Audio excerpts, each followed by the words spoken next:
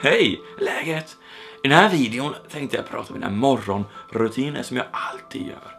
Och varför jag vaknar alltid pigg och utvilad. För det första, jag sätter ett alarm, till exempel halv sex. Så larmet går igång och jag klickar på stopp. Aldrig snooze.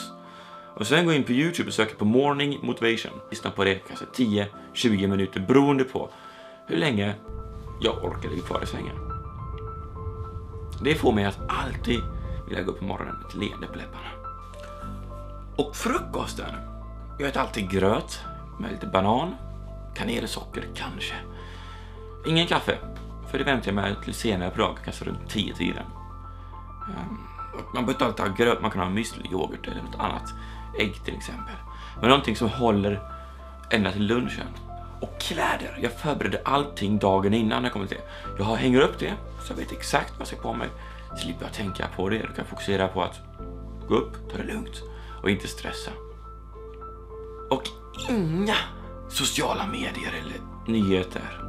Det här är min mentala bank och jag vill inte tanka den med negativitet på morgonen. Eller andra distraktioner. Till exempel, jag går in på Facebook. Varför? Det första jag ser, det är andra personer som jag har gör någonting. Jag borde fokusera på mig själv, inte fokusera på vad alla andra gör. Så därför har jag telefonen på flight mode eller så lägger jag från den på morgonen.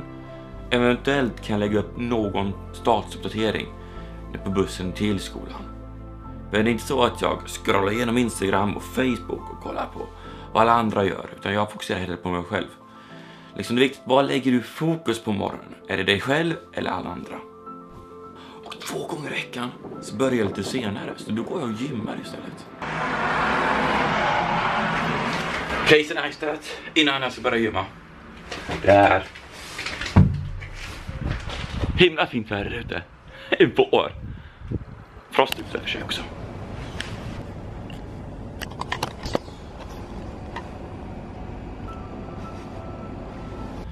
Så jag ställer klockan lite extra och så går jag upp. Och då är som sagt all, samma rutin som innan. Sen drar jag till gymmet.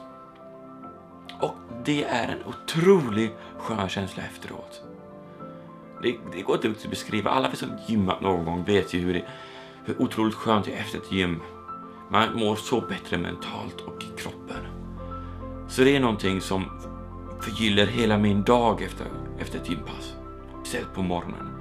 Det ger väldigt, väldigt mycket. Jag skulle nästan kunna gymma varje dag bara för att få den känslan. Det är, ja, det är jätteskönt.